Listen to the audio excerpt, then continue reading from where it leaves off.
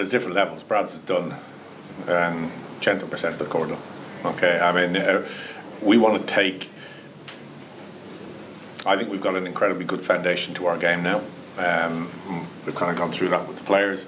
We will take risks in um, both selection and style, but also you have to be aware of the level you play against uh and, and, the defences you play against. So, um, yeah. Dobbiamo avere un equilibrio del nostro piano. That's what we have to have, and we have to score. We know that, um, and I think we've got some.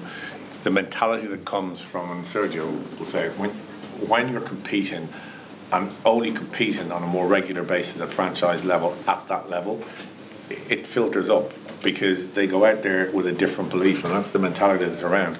Not stupidity uh, that we're going to beat the world. We're not like that, but we know we've made massive progress in Italian rugby in the last 12 months, but we also know the mountain we have, and God, I want to climb it quickly for him.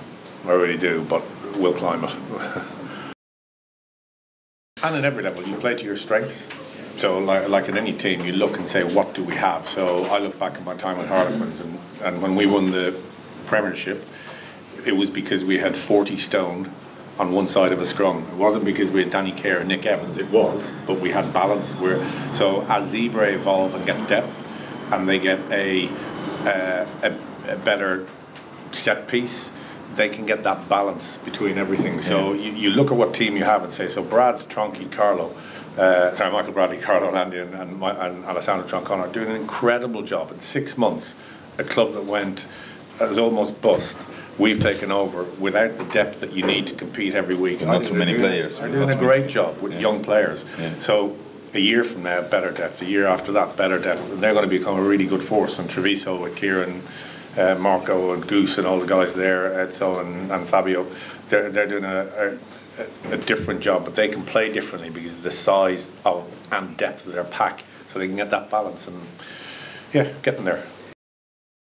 Rather than coming from me, I'll let it come from the Welsh, the Scots, and the Irish, who six, eight months ago, the unions and the Pro 14 were looking at us saying, You're not doing the right things. They've come in, they've audited us, they've looked at what the two clubs are doing, they've looked at what we're doing underneath and we haven't signed it yet, but we've agreed a long-term commitment uh, for the two franchises to the Pro 14.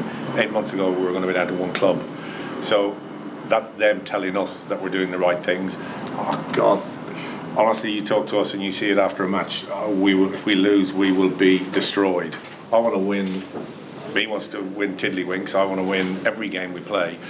Uh, but then you dust yourself down, you get on with it, and uh, the mental toughness in the battle we have is is everything, and um, we just want to do what's right. And if I'm not right, then I'll do everything I can for Italian rugby, and then the next person will make it better and better and better. But we're doing what's right, and God, we want to win for those supporters.